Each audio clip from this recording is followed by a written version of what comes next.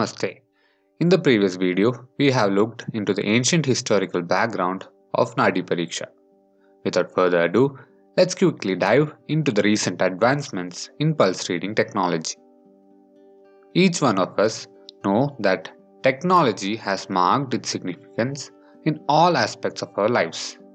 Interestingly, the age-old science of Nadi Pariksha has also been seized by technological advancements.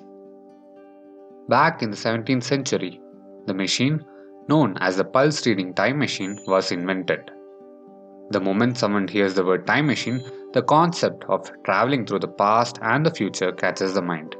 Hold on, guys. This is not that kind of time machine.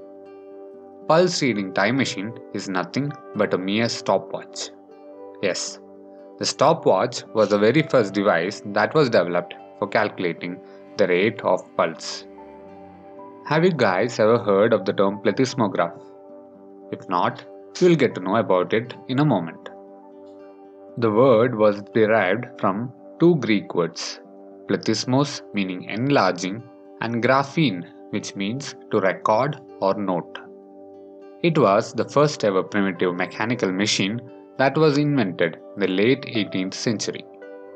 It consisted of a pointer that would be placed on the patient's wrist on the pulsating artery, and the other end would be kept on a rotating drum where the graph would be recorded on a carbonized paper.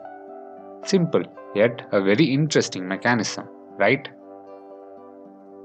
A lot of variations like the photoplethysmograph, pressure plethysmograph, electroplethysmograph, etc., were developed to understand the movement of pulse.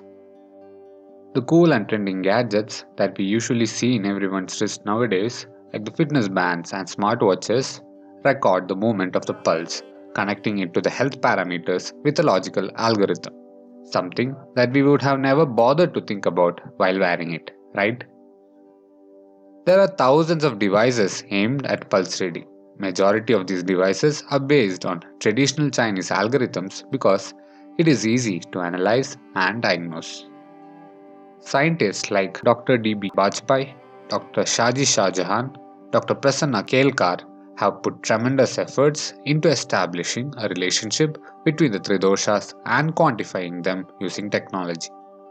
Many IIT students, in collaboration with Bhabha Atomic Research Center, have tried making a significant contribution to the development of machines for pulse reading. Some of you might know that there are a few machines available in the market which claim to give accurate results of Nadi Pariksha. Let us look into them.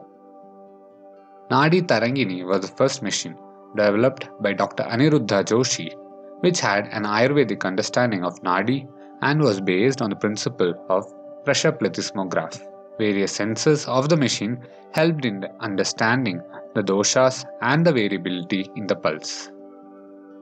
The second machine, called Veda Pulse, was developed by Mr. Oleg Sorokin, a Russian engineer, which not only gave an understanding about the Ayurvedic aspects but also included yoga, traditional Chinese medicine, and chakra related information.